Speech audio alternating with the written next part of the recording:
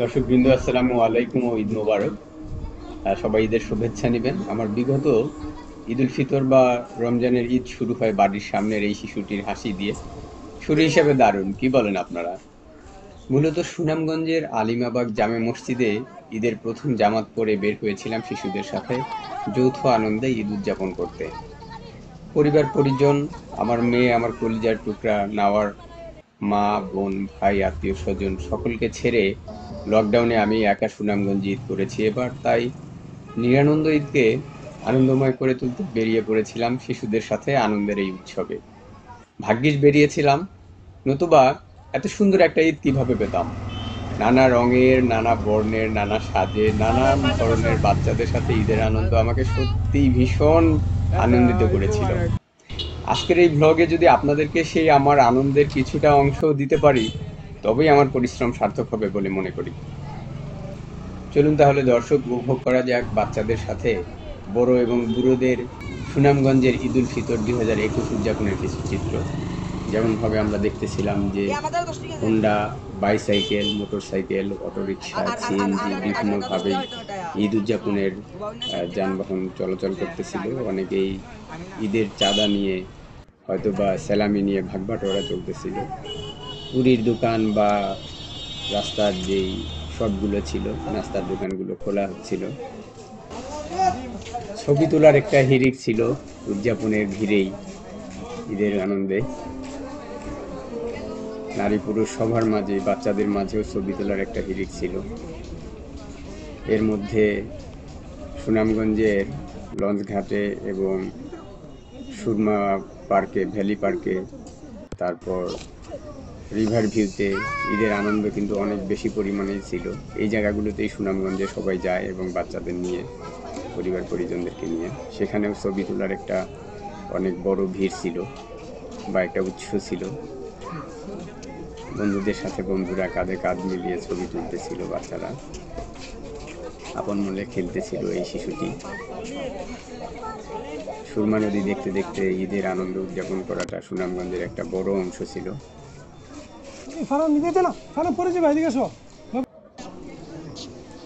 বড়দের পাশাপাশি ফটোগ্রাফার হিসাবে বাচ্চারাও নাম লিখিয়েছিল সেদিন।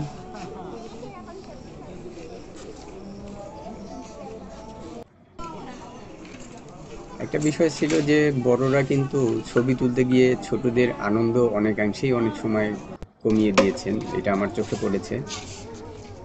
সবাই যেমন ঈদের ফর্মাল ড্রেসে ছিলেন বা উৎসবের ড্রেসে ছিলেন, অনেকেই ছিলেন ইনফর্মাল ড্রেসে ঝালমুড়ির দোকানদারকেও পাওয়া গিয়েছে। তার ব্যবসা সেদিন ভালো হয়েছে জানিয়েছেন তিনি।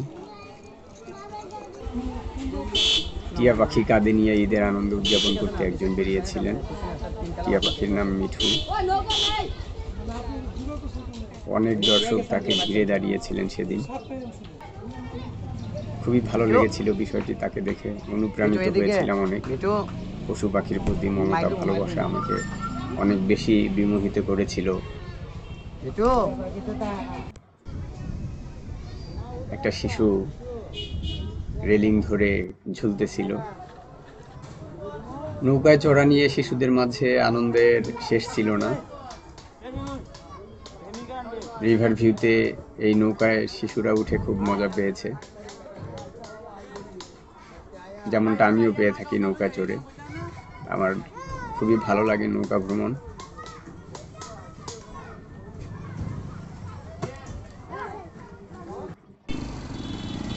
শহরের ট্রাফিক পয়েন্টের দৃশ্য এটি। সুন্দর সাজে সাজিয়েছিল তারা। আব্দুল জহুর সেতুও এই আনন্দের বাইরে ছিল না। আব্দুল জহুর সেতুতে অনেক বেশি পরিমাণে দর্শক এখানে আসেন, ঈদের আনন্দ উদযাপন করার জন্য। দুপার থেকেই অনেক মানুষ বিশেষত শিশুরা, বড়রা, মাইক্রো, কার ইত্যাদি নিয়ে সিএনজি অটোরিকশা ইত্যাদি নিয়ে এখানে ঘুরতে আসেন। এই দুই শিশু যেমন আইসক্রিম খেতে খেতে বন্ধুত্বের সর্বোচ্চ সুন্দর দৃশ্য আমরা দেখলাম যে কাঁধে হাত রেখে যাচ্ছেন। একটা পাগলের জন্য তিনটা লোক, তিনটা শিশু আর কি তারা নিচে নেমে হাঁটতেছিল। পাগলটাও ঈদ উদযাপন করতেছিল। সুরমা নদীর দৃশ্য দেখা, সুরমা ব্রিজ থেকে, সেটিও ঈদের আনন্দের একটা উৎস মনে হয়েছিল আমার কাছে। অনেকে যেমন দলগতভাবে আসছেন অনেকে আবার একা একাও আসছেন। ছোট বাচ্চাদের ড্রেস এবং তাদের আনন্দ আমাকে আরও বেশি বিমোহিত করেছিল। ছবি তুলতে গিয়ে এই যে দেখুন এখানে যেমন একটু অপ্রীতিকর ব্যাপারই ঘটে যায়। বাচ্চারা কিন্তু তাদের আনন্দ উদযাপন করতে পারে না। ছবি তুলতে গিয়ে অনেকেই সেই আনন্দটা নষ্ট করে ফেলে, বড়রা ছোটদের আনন্দটা নষ্ট করে ফেলে। আইসক্রিম খাওয়ার বিষয়টি একটা ভালো বিষয় ছিল। আইসক্রিম বিক্রি হয়েছে সেদিন অনেক এবং আইসক্রিমওয়ালা ও চাচা এবং ভাইয়েরা খুব বেশি পরিমাণে মেবি ঈদের আনন্দ উদযাপন করতে পেরেছে এই কারণে। উপচে পড়া ভিড় ছিল আইসক্রিমের দোকানগুলোতে। যারা আইসক্রিম খুব বেশি ভালোবাসেন, তারা সেদিন নিশ্চয়ই অনেক মজা পেয়েছেন। এক মাস রোজা রাখার পরে আইসক্রিম খাওয়ার সুযোগ পেয়েছেন দিনের বেলায়। আমার কাছে ট্রাফিক পয়েন্টের এই সাজটি অনেক বেশি ভালো লেগেছিল, দারুণ লেগেছিল। মূলত দৃষ্টিনন্দন একটা বিষয় ছিল দেখার সময়। এখনও এটি আছে। এই বাচ্চা দুটিকে দেখে আমার খুবই ভালো লেগেছিল, শাপলা চত্বরে সেখানে একজন ডিজে নাচ নাচতেছিল, এই যে এখন শুরু হবে চশমা ঝাঁকিয়ে।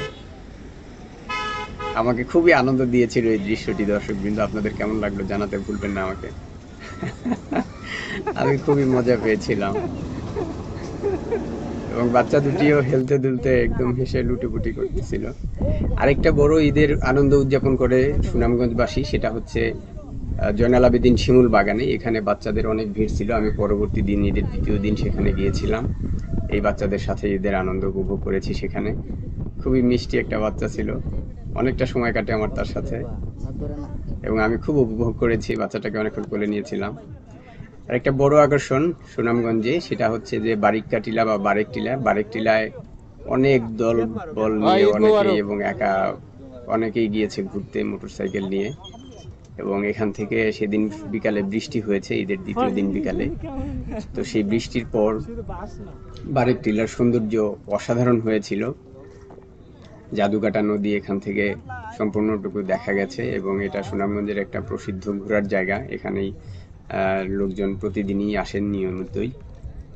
এবং এটা আমার খুব বেশি ভালো লাগে। যারা এখানে এসেছেন, তাদেরও নিশ্চয়ই অনেক বেশি ভালো লেগেছে এখান থেকে ঈদের আনন্দ উদযাপন করতে। দর্শক, নীলাদ্রি চলতি নদীতেও অনেক বেশি পর্যটকদের আগমন হয়। এইগুলো তো গেল সুখের আনন্দের ঘটনা। এবার ঈদ বিষয়ে, কিছু বিষয়ের দিকে নজর করা যাক। সেটি হচ্ছে যে, আমরা যেমন ঈদের আনন্দ উদযাপন করি, তেমনি এই ঠেলাওয়ালা ভাই, আমাদের এই রিক্সাওয়ালা চাচা, অটোওয়ালা যারা রয়েছে আমাদের আশেপাশে, যারা ঈদের আনন্দ উপভোগ করতে পারছেন না। যেমন এই বাদামওয়ালা ছেলেটি, যে কিনা তারই বয়সী চারটি ছেলের সাথে বাদাম বিক্রিতে ব্যস্ত ছিল ঈদের সময়। নিশ্চয়ই সেটিও তার একটা আনন্দ অর্থ উপার্জন কিন্তু সেই আনন্দটা আমরা এইভাবে কি চাই? আমরা নিজেরা কি এরকম প্রশ্ন করেছি কখনো? এই যে আমাদের এই কলাওয়ালা চাচা, আমরা যাকে প্রতি প্রতিনিয়তই দেখি, তাকে ঈদের দিনও বের হতে হয়েছে কলা বিক্রির জন্য তার রুজির অন্বেষণে, উপার্জনের অন্বেষণে। এই যে আমাদের রিক্সাওয়ালা চাচা যিনি আছেন, প্রত্যেক খেটে খাওয়া মানুষ যাদের আমরা আশেপাশে দেখি, চিনি, তাদের ঈদের আনন্দ কি হচ্ছে, কীভাবে তারা ঈদ করছে? এই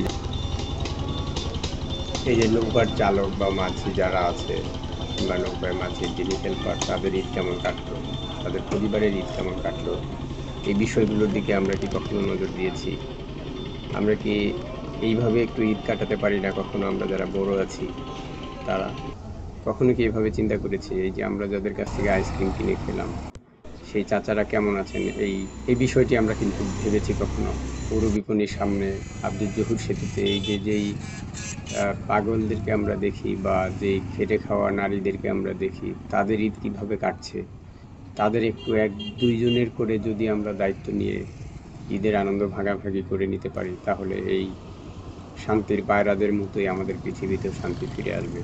সেই শুভকামনা এবং সেই আশা রেখেই আজকের মতো আপনাদের কাছে এখানে বিদায় নিচ্ছি। সবাই ভালো থাকবেন, সুস্থ থাকবেন।